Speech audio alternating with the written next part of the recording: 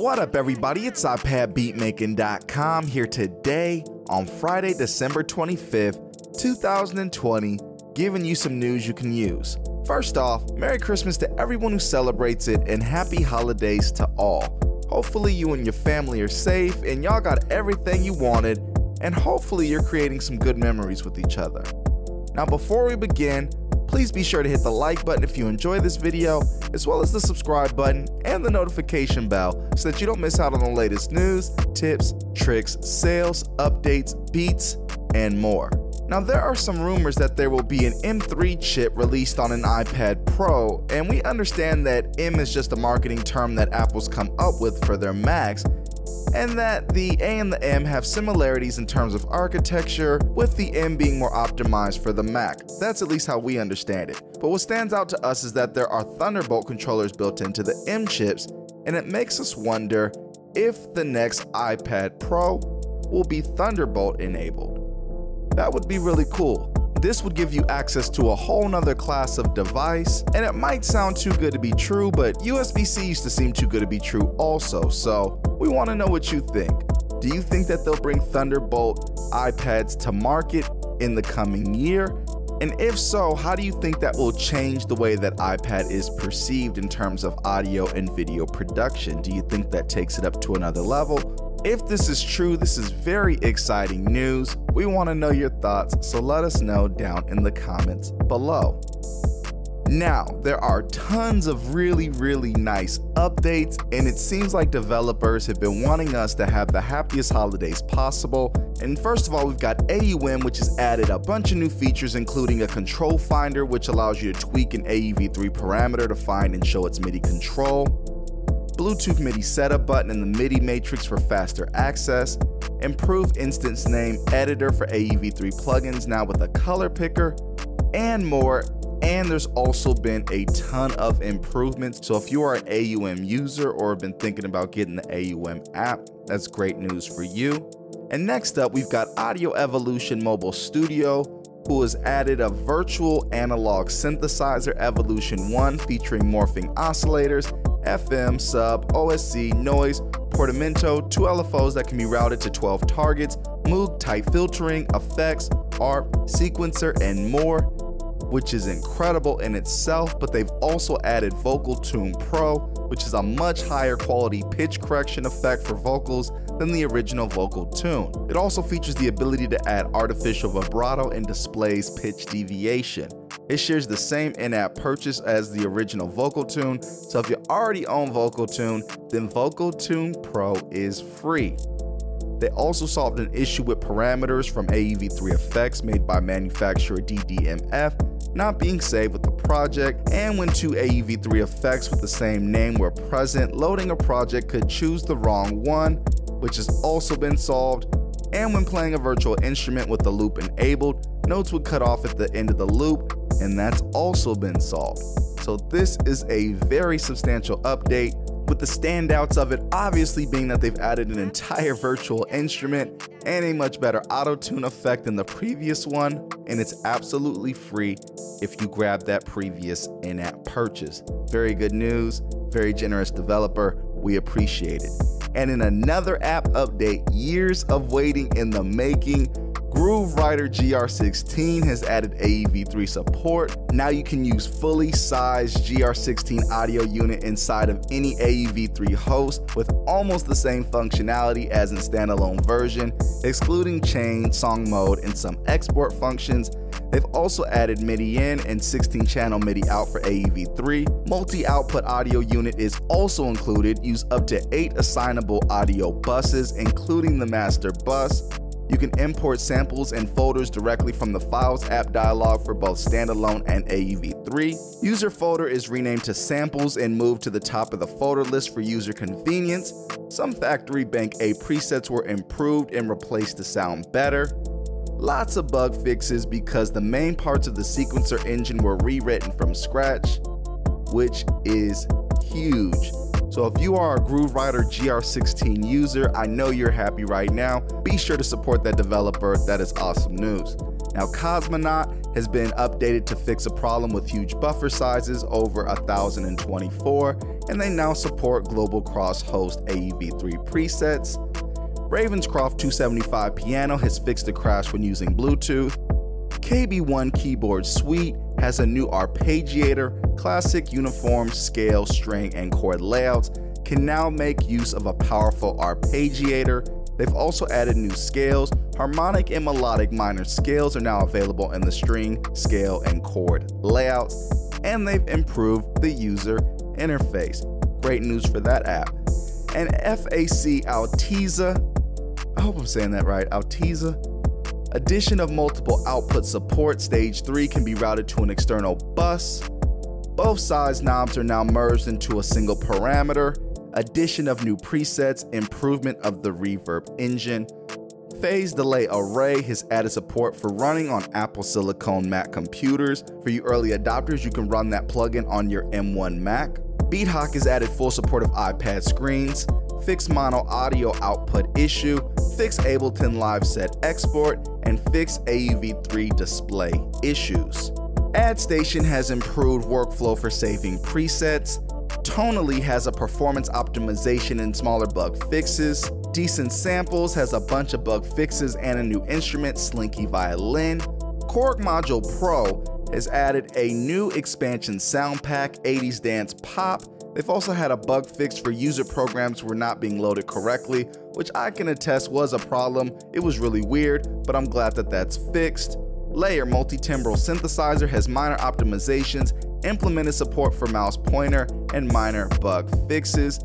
And of course, the talk of the town right now, Cubasis has been updated to 3.2. It already goes without saying, we did a whole video on this, you can find it here, but the biggest things are that they added keyboard support, QWERTY keyboard that is, support, so now you have keyboard shortcuts and things like that. And they've collaborated with Waves yet again to bring you the H delay plugin as well as a version of Waves Tune RT. So been playing with that app, it's really cool. Lots of new features under the hood also that I'm not even gonna mention right now because it's gonna take up too much time.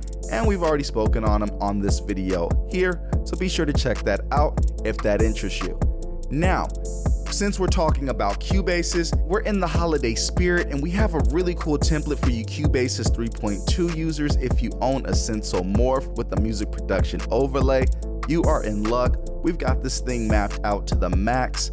It can do so much. You really barely need to touch the screen at all, and you don't have to be relegated to the keyboard. The drum pads are all assigned to the pads in Cubasis. It's also MPE if you want it to be, or it's not MPE. You can turn that on and off. Obviously, you can also control if you want velocity on your stuff or not. And you can scroll through the different tracks and the items on the tracks very, very easily and fluidly with this Sensel Morph layout that we've put together. So be sure to check out iPadBeatmaking.com and go grab that. We've got more details on it. We'll leave a link down in the description to grab that. Be sure to check that out. It will be free for y'all until the end of 2020. We hope you enjoy. Please let us know what you think about it. What can we do to tweak it, make it better? you know, let us know. And with all that said, let us move on to sales. There are so many sales. First off, we've got Wavestorm, which was $7.99. It's now $2.99. Backpack Studio was $9.99. It's now $4.99. Flip Sampler, brought to you by legendary YouTuber Andrew Huang, is $7.99 down from $9.99. Is that how you say it? Yonik? Yonak? Yes, they have their apps on sale currently. Cauldron was $9.99, it's down to $4.99. Galileo Organ was $29.99, it's $14.99. Magellan was $14.99, it's $6.99. Tone Stack was $9.99, it's $4.99. Magellan Synthesizer 2 was $14.99, it's currently $6.99. Caspar was $19.99, it's down to $9.99. Galileo Organ 2 was $14.99, it's down to $6.99. Roxin Guitar Synthesizer was $19.99, it's currently $9.99. Steel Guitar was 99 cents and it's free. Tone Stack Go was 99 cents and it's also free. Next up, we've got a sale from developer Bliss, and they've got their Bliss Alpha synthesizer, which was $14.99 down to $12.99. Bliss Delay was $4.99, it's down to $3.99. Their Reverb was $4.99, it's also down to $3.99. And their Shimmer was $7.99 and it's down to $5.99. Sidekick was $7.99 and it's also down to $5.99. Their filter was $4.99 and it's down to $3.99. Motion EQ was $4.99 and it's down to $3.99. Their chorus was $7.99 and it's down to $5.99. Saturator was $7.99 and it's down to $5.99. Bliss Flanger was $7.99 and it's also down to $5.99. Their compressor was $4.99 and it's down to $3.99. Audio Kit is back with yet another sale, and the best part is they've brought some of those special edition, limited edition, those apps that cost $100 at different points. They've now made them affordable for all again. So, Audio Kit Digital D1 was $4.99, it's down to $3.99. Their 808 synth, which is a must grab, was $99.99. It's currently $3.99. Their Hey Metronome app was 99 cents and it's currently free. Their limited edition app number two, Retro Piano, which I love for its very unique sound, was $99.99. It's currently $3.99. And Audio Tune, which was $99.99, is now $3.99. And these are all great apps, so be sure to check them out. An app developer 4Pockets has put some of their apps on sale. Digistix was $8.99, it's currently $6.99. Vocal Soloist AUV3 was $6.99, it's currently $4.99. Evolver Effects AUV3 was $9.99, it's currently $6.99. MIDI Strummer was $7.99, it's currently $6.99. Neurac AUV3 was $12.99, it's currently $8.99. DigiKeys was $8.99 and it's currently $6.99. Visual EQ Console AUV3 plugin was $5.99 and it's currently $4.99. Analyzer and Tuner was $5.99 and it's currently $4.99. Slow Mo Effects was $6.99 and it's currently $4.99. MIDI Mixer for AUM was $6.99, it's currently $5.99. Drum Surgeon AUV3 was $5.99 and it's currently $4.99 visual multi-band compressor was $7.99 and is currently $5.99. And moving on, Melisynth and Effects was $9.99 and it's currently $4.99. And NFM was $9.99 and it's currently $4.99. Now, Kronos Remote was $32.99 and it's currently $21.99. And GeoShred Pro was $24.99 and it's currently $14.99 and also the GeoSwarm saxophone expansion, which is usually $14.99, is currently $2.99, which I definitely recommend grabbing. And that's applicable to all the different versions of GeoShred, so whichever one you have, be sure to grab that for it. And Sugar Bytes has also put some of their apps on sale with Tornado going from $19.99 to $11.99. Effectrix, which was $17.99, is now $10.99. Cyclop for iPad was $24.99, it's $13.99. Thesys was $14.99, it's currently $8.99. Egoist was $29.99, it's currently $17.99. While Filterbox was $14.99 and it's $7.99. Unique for iPhone was $4.99 and it's $1.99. Unique for iPad was $14.99 and it's currently $7.99. Now, Nembrini has also decided to join the sales, putting their delayed 3000 Vintage Modern on sale for $4.99 when it was $9.99. Soundmaster Custom Tube was $19.99. It's currently $9.99. BST1 was $19.99 and it's currently $9.99. Analog Rack Equalizer was $3.99 and it's $1.99. MRH 810 lead series was $19.99, it's currently $9.99. Analog Rack Reverb was $3.99, it's currently $1.99. Cali Reverb for modern high gain was $19.99 and it's currently $9.99. Analog Rack Fuzz was $3.99 and it's currently $1.99. The Boss LED Diode Distortion was $4.99 and it's $2.99. Analog Rack Screamer was $3.99 and it's now $1.99. 8180 Monster Tube was $19.99, it's currently $9.99. Analog Rack Compressor was $3.99, it's $1.99. PSA 1000 was $19.99 and it's currently $9.99. Analog Rack Flanger was $3.99 and it's $1.99. Kali Dual 3 Channels was $19.99 and it's $9.99. Analog Rack Guitar Equalizer was $3.99 and it's currently $1.99. Analog Rack Tremolo was $3.99, it's $1.99. And Analog Rack Phaser was also $3.99 and it's also $1.99. Next up, we got developer Kai Aras, who have also put their apps on sale with the KB1 keyboard suite, which was $9.99 down to $4.99, Volt Synth, which was $19.99 down to $9.99, Shockwave, which was $19.99, also down to $9.99. RP1 Delay was $5.99 and it's down to $2.99.